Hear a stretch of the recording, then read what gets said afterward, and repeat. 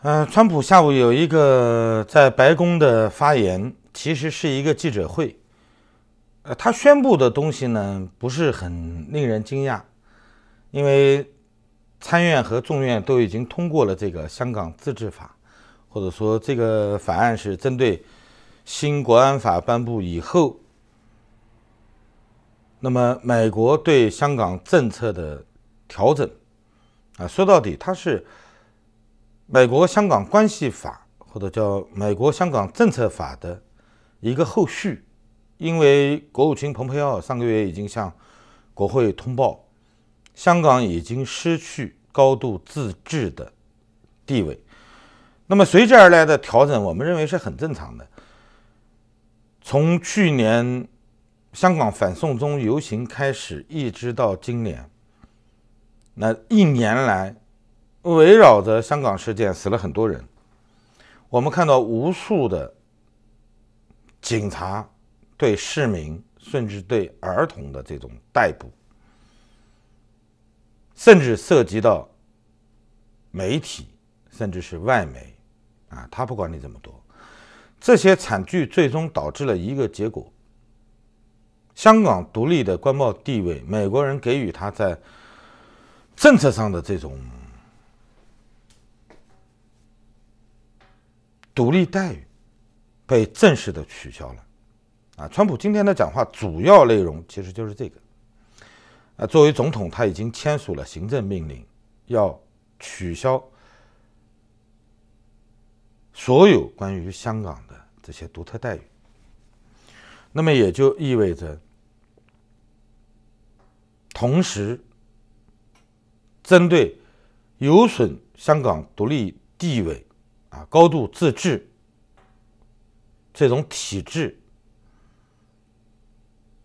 所有阻碍它，让香港实质上的所谓“一国两制”变为“一国一制”的这些人，以及实体，啊，都会受到受到制裁。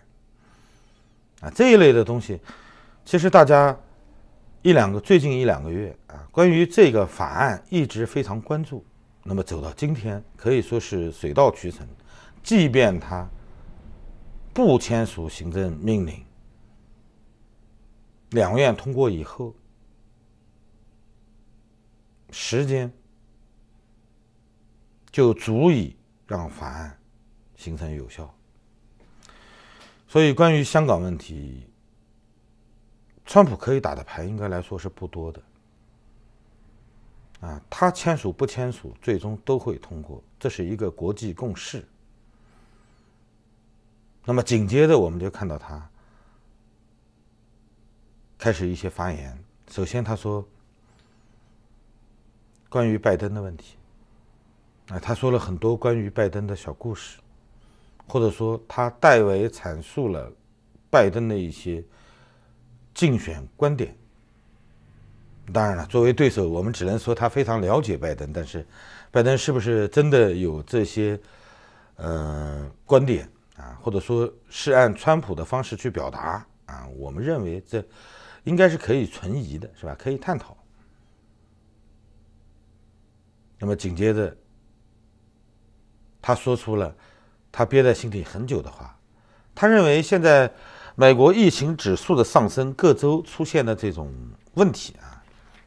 或者说出现了这种恐慌，大家不要忘记，主要是因为在美国检查的人多了，啊，政府或者说联邦给各个州提供了足够的检测方式，所以你才会看到数字在增加，但是死亡率在下降。其实关于这一点呢，他没有说错。从纽约刚开始非常惊悚的这种报道，我们来看，依据统计资料，大概是四月十一号死的人最多，两千一百零八个。那么单日刷新了这个单日死亡人数世界之最。那么前期美国的死亡率应该来说是居高不下的，但是随着人们对这次疫情逐渐开始了解，没有那么恐慌了，因为医疗手段相对也跟得上，所以现在我们看到死亡率已经被拉低到百分之四。这个拉低是从疫情爆发一直到今天均衡下来的结果。真实的数据其实更可观，因为最近一段时间确诊和死亡人数之间的比例已经下降到了百分之零点五。那么无论怎么说，是吧？川普的这个发言其实大家都在关注，因为实时。进行翻译报道的非常多。其实我们看到中国政府的反击也很快，跳出来的还是赵立坚。那么赵立坚说来说去说了三句话，大家都关心的好像是他说，美国签署的这份法案是一张废纸。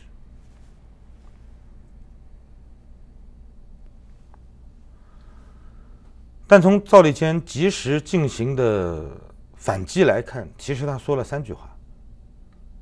啊，第一句话是非常拗口的，啊，他说了一个套路，但最终其实就一句话：在香港实行国安法是为了保障一国两制。啊，听起来很可笑，是吧？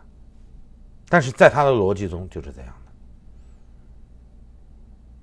那么第二句话是，香港是中国内政，任何外国无权干涉。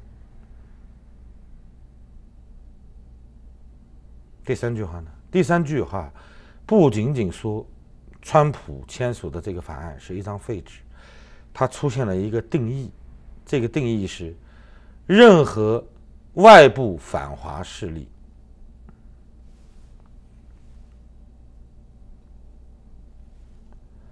大家注意一下，这是中共的外交部发言人，他代表官方给美国政府一个代称，叫“外部反华势力”。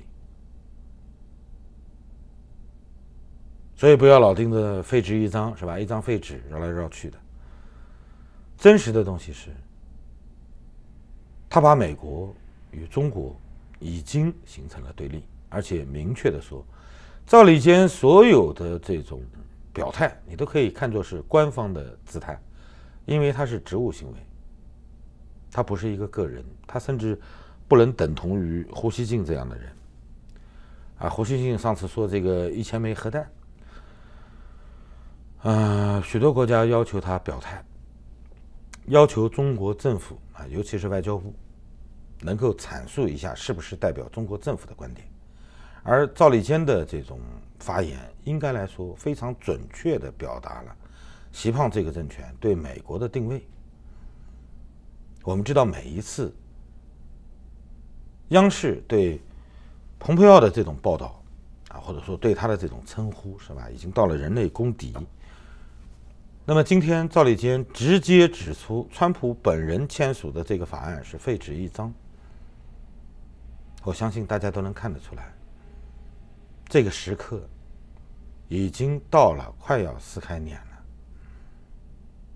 其实到今天为止，我们可以看到，美国尤其是川普，到目前为止没有撕开脸。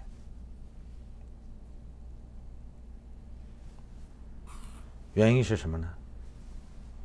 他作为现任的总统，他和在野的啊，他的竞争对手是完全不一样的，他要负担起。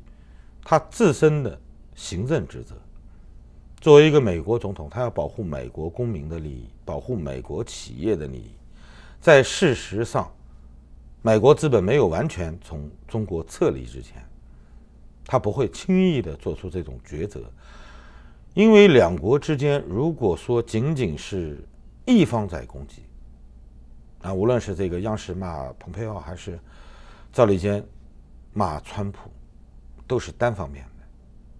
如果川普要是接话，紧接着就是断交，这对他来说太快了，所以他尽可能在控制着节奏，他在肩负他自身行政职责所带来的使命。我们可以知道，任何一个与他进行竞争的啊，参与竞选的对手，都可以没有底线的去发表一些言论，因为最多只能带来中国政府的一种质询啊，类似于胡锡进说话一样。而川普说话其实不是这样，所以我们今天看到美国政府的法案通过啊签署，一直到赵立坚的这种反击，你总感觉到好像中国政府的发言人说话咄咄逼人，而美方到现在为止没有任何反应。川普经常深夜发推，但是到现在为止我们也没有看到他有任何反应。我个人认为，短期内川普不会进行强有力的反击。十一月份之前，他会相对的克制，因为对他来说，该说的话他已经说了，真的不听劝，那就随他去吧。这个话不仅仅是针对西方，也是针对还在中国投资的这些商人。美国从联邦的一些养老基金啊，不允许投放到。有中资背景的这种股票市场中去，啊，不再对中概股的基金进行注资，这就已经充分的表明美国政府的态度。那么，在香港，我们也看到了一些美国驻香港的商会进行的调研，啊，至少有三成的美国企业即将从香港撤离。那么还停留在大陆的资本，如果说他们愿意去赌，那是他们的事儿。作为国家来说，必须要对本国公民、本国公民的商业利益啊进行一定的保障。所以我们在短期内不太可能看到川普进行明确的反击，因为这会失控。在他获取连任之前，这种可能性不是很大。好了，谢谢大家。再见。